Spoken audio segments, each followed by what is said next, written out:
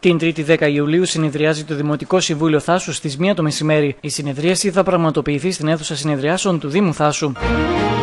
Στις 15 Ιουλίου αναμένεται να έρθουν στο στρατιωτικό αεροδρόμιο της Χρυσούπολης Καβάλας τα πυροσβεστικά σκάφη Πετζετέλ, όπως δήλωσε στο κρατικό ραδιόφωνο της Καβάλας ο Περιφερειακός Διοικητής της Πυροσβεστικής Υπηρεσίας Παναγιώτης Δικούδης. Υπενθυμίζεται ότι τα Πετζετέλ τα προηγούμενα χρόνια ενίσχυαν την πυροσβεστική υπηρεσία Καβάλας από τις αρχές Μαου, πλην όμως, σύμφωνα με τον κύριο Τικούδη, λόγω οικονομικής αδυναμίας φέτος σημειώθηκε αυτή η μεγάλη καθυστέρηση.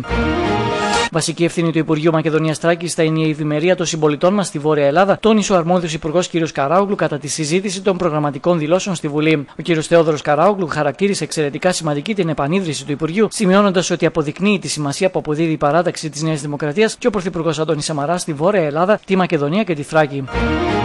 Πάνω από 100.000 Τούρκοι μαθητές αναμένεται στο επόμενο χρονικό διάστημα να επισκεφθούν την Ελλάδα, συνοδευόμενοι βέβαια από τους δασκάλους τους. Στα πλαίσια πάντα των σχολικών τους εκδρομών. Η απόφαση για μαζική εισρωή Τούρκων μαθητών δημοτικών σχολείων προήλθε μετά από την ενέργεια της ελληνικής κυβέρνησης να απαλλάξει από τη θεώρηση βίζας στα παιδιά κάτω των 12 ετών, κάτι που μέχρι τώρα κόστιζε 120 ευρώ.